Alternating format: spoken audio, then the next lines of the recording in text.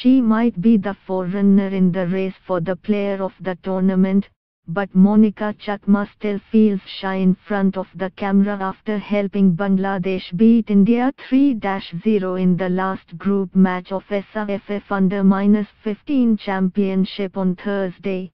Monica attended a press conference with coach Golam Rabbani at times she was finding it difficult to express herself, but her excitement and determination did not go unnoticed thank you everyone. We are happy that we played well, but we want to do even better in the future.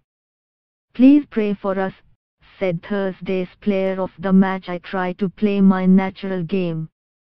In fact, once I am there on the field, I forget everything, said the grade 10 student Bangladesh are her favorites ahead of Sunday's final against India, a team they have defeated three times in the recent past. The youngest of her parents' five children, Monica, hailing from Lakshmichhari in Khagrachari, has so far scored six goals in different international tournaments. I used to play without informing my father as he did not approve me playing football, said Monica, who Bangladesh Football Federation manager Ahsan Ahmed has dubbed the Neymar of the team.